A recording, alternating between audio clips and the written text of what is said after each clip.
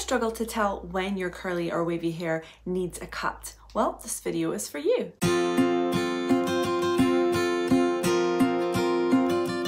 Hey guys, welcome back to my channel. I hope you're doing great today. Today's video, as I've said, is about how to tell when your hair needs a cut. Back when I used to straighten and dye my hair um, and just wasn't on a healthy curl journey, I just used to get my hair cut at fairly regular intervals. For me, it was about every three months. Um, some people might get their hair trimmed every six weeks.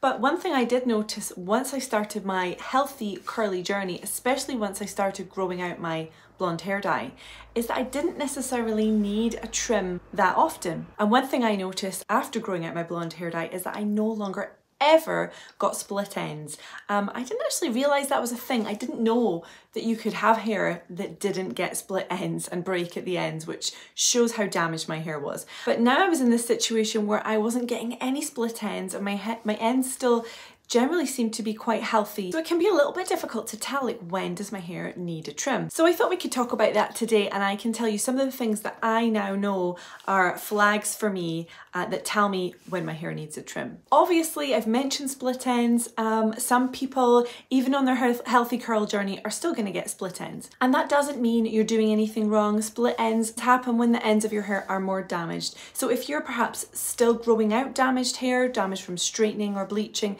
perhaps you're still colouring your hair, so um, your hair's doing fine, but there is still that damage at the ends. The ends obviously have been on your head the longest, so they've experienced the most amount of damage, whether that's from straightening, bleach, brushing, or just the elements. So the ends are bound to be um, less healthy than the hair that's up here that's newer. So you might find that you do get split ends, and obviously a split end is straight away a red flag that your hair needs a trim. Despite what some videos or products might tell you, there is no such thing as healing a split end or fixing a split end.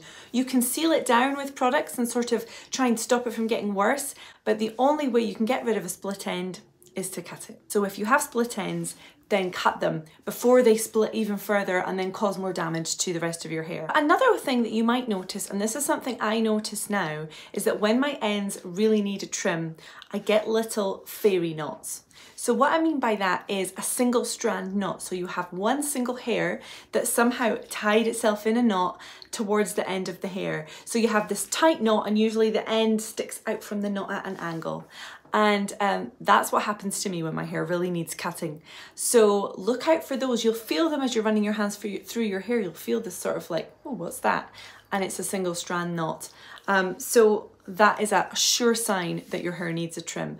You can also just individually cut off those single strand knots in between. If you have an appointment at, at, a hairdresser and you start noticing single strand knots, you can just cut them just above the knot and it's at least going to deal with that problem in the meantime. Another way you might know that your hair needs cutting is how it feels at the ends. If the ends of your hair start to feel really quite rough and dry and just sometimes it can feel not like real hair if they really really need cutting. If it just starts to feel horrible then chances are those ends need a trim. Another way you can tell that your ends need a trim is by looking at them. Yep just using your eyes. A good healthy end. So this is my hair. I just cut it myself today. I will link up here.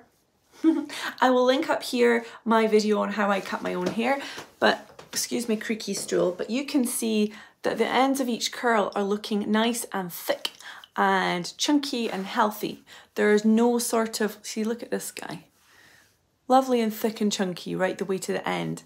If your hair is looking really like thicker at the top, but then as it gets to the bottom, it tapers down to sort of thin, straggly looking ends. Again, that probably means that they need a trim. But now I'm gonna tell you how I knew my hair really needed a trim today. So what happens to my hair is the layers, these higher layers here, that is the part of my hair, here and here especially, that grows the fastest. Also, it's amongst my loosest curl pattern sections. So my curls are tighter underneath. Um, as you can see, I've got these ringlets underneath. And whilst today you can see sort of ringlets on the top layers, when that hair is longer, it stops doing that and it's it's a lot flatter and straighter and then I just get a curl at the end. So what happens to me is very quickly these top layers grow out and lose shape and I get very flat sections at the corners of my head and right at the back. It all it just goes really flat and nothing I do can really get it to curl and get it to hold the curl. The other thing that happens is it, my hair almost acts as if it's been over moisturized or over conditioned and I'll do my hair and it looks okay when I've just done it but then after a few hours or the next day it's just lost its curl and the curl's just kind of gone hmm. especially in the top layers. So what I tend to do in that situation is I'll try adding some protein first because it's a very similar sort of symptom to when my hair needs some protein added. And if you want to know a bit more about how to know when your hair needs protein, I'll link a video up here for you on that. But it, it's a similar symptom for me when my hair needs cut and when it needs a boost of protein. So once I've tried adding the protein and if it's still happening, then I think, right, okay, the next step for me is that it needs a trim. So I've known for a couple of weeks that my hair really, really needed a trim. Um, and I actually took off about this much. I took a fair chunk off the length, but I'm so glad I did because for my hair, for it to curl at its full potential, the layers need to be that bit shorter on the top for them to be happy. Um, but then last time when I cut my hair myself, I cut those layers a bit shorter, but I was desperately trying to hang on to my length and I ended up with it looking a bit like a mullet, which is not what I was going for. So this time I thought, you know what, I'm just gonna give it a good trim on the bottom. It's still long, I'm so happy with this length. I'm really, really happy with how it turned out.